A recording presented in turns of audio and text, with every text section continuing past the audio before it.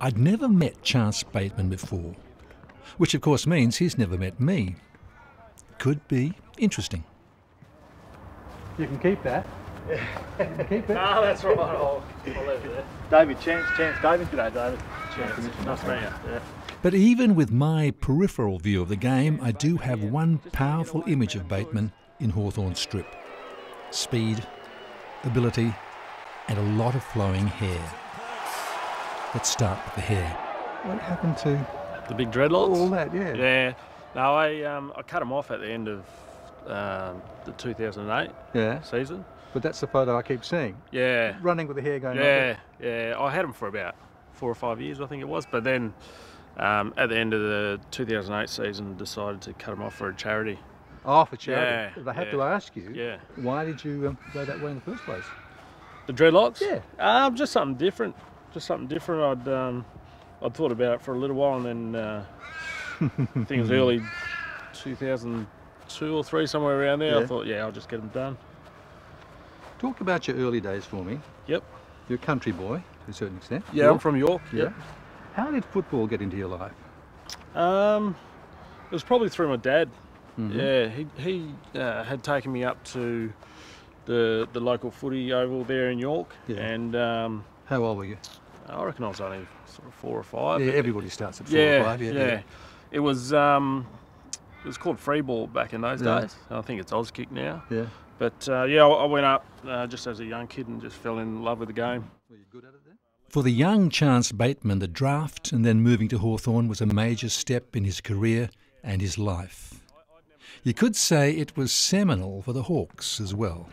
I, I'd never been away from home. um, Never. Yeah, that's the other story yeah, too. Yeah. So I- yeah. I hadn't been to uh, boarding school or anything like that. So Had you been on an aeroplane? Nah. Oh, actually, in in '99, I played uh, state 18s footy over in Yeah. Brisbane. and Yeah. That was the first time I'd ever been on a plane. So you go to Melbourne Yep. and you play for Hawthorn. Yep. How did they receive you?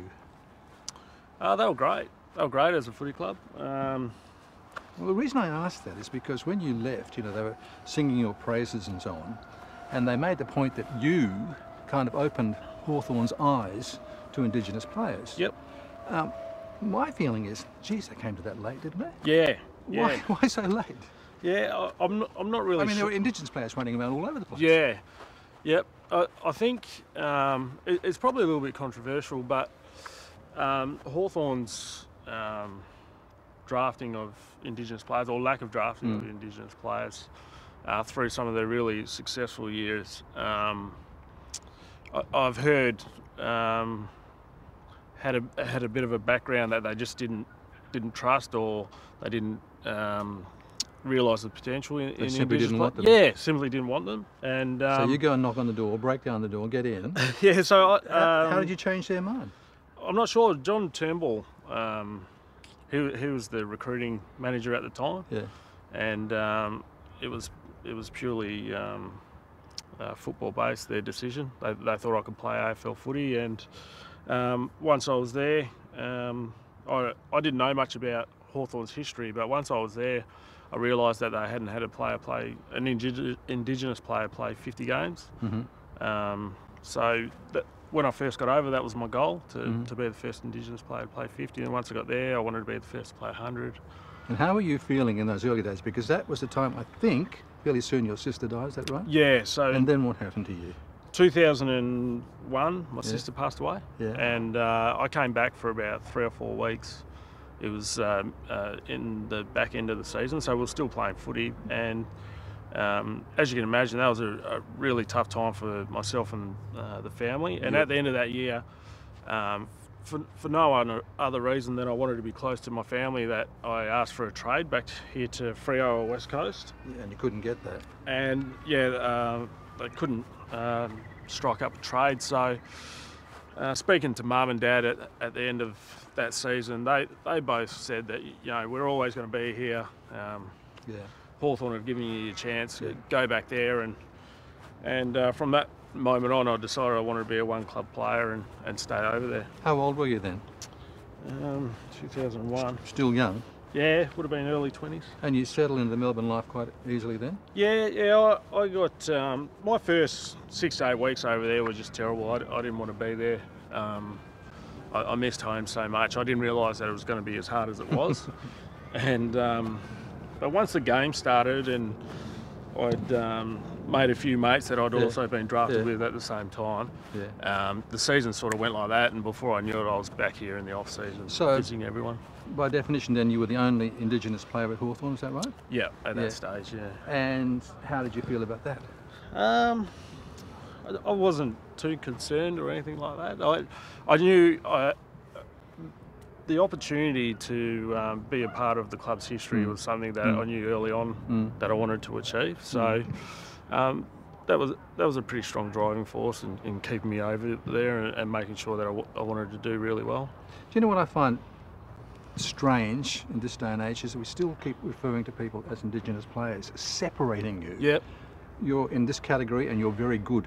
In that. Do you approve of that, or would you just rather have a level playing field all the same? Um, I, I mean, I, I'm a proud Aboriginal Of person. course you are. And um, because of the lack of Indigenous players at Hawthorn, Mm. um, being recognised as an Indigenous Hawthorn player was something I, was- I was quite happy about. But um, yeah, I, I'm exactly the same. I don't think they need to be categorised or, Mm. or separate in any way. But um, you know, it, it was a a goal of mine, to be part of um, the Hawthorn Football Club's history. Bateman's place in Hawthorn's history is indelible. But time moves on. So did Chance Bateman. for Bateman on the run from 40. I knew that my time was up. I, I wasn't. Why? Um, I wasn't in great form. Um, I was sort of 32 at the time, and uh, yeah, and I, I just knew that my time up, uh, my time at AFL footy was was up. So I didn't I didn't want to try and hang around any longer. Um, I I saw myself as being really blessed that um, I've been able to stay there for, for 13 years. So That is a long time. yeah, it is. Yeah, it is. And now you're back here, Yep. and Where it all started. hopefully we'll play, Yes. but not yet. What's what's the matter with you? Why aren't uh, you out there? I've got a bit of a calf issue at the What's, what's, moment. a, what's a bit of a calf issue? Oh. Describe that to me. uh, I've, I've had a tight calf. Um, That sounds pretty ordinary. yeah, since about uh, since about round one, Yeah. and um, yeah, we we Well, they tried. want to, you out there. mate. yeah, I've tried to come back a couple of times, and it just Yeah. doesn't feel quite right yet. So we'll give it another couple of weeks, and hopefully Mm. I'm back playing soon. So tell me, what's your future as we walk into the sunset? Yeah, at, at the footy club or Yeah, yeah, football future. yeah, yeah. Um, I'm not really looking past this year. Um, Just the one year. Yeah, so this is my second year at the club. Yeah. Uh, but, but at my age, you sort of just go on how your body's feeling, um, whether you're still passionate enough, and whether you still think you can play. So Have you not just, got the passion? no, I have. That's Yeah. that's why I'm still here. It's just the If- tight Yeah, it's thing. sort of just the body that you just Yeah. have to um, reconsider at the end of each year. But yeah, if I wasn't passionate about it, I wouldn't be here because it's it's like anything. If you don't enjoy it, you don't love it, then you, you're never going to be any good at it. So um, if I ever lost the passion, I'd, I'd walk away from the game. Do you wish you were out there? Yeah, well, I'm going to be out there tonight. Are you? Yeah, I'm going to be doing a little bit of little bit of training tonight, a bit of rehab running. All right. Well, Yep. we'll, we'll stay and we'll watch you. No worries. We'll see how the leg goes. Thanks very much. Thank you. Cheers.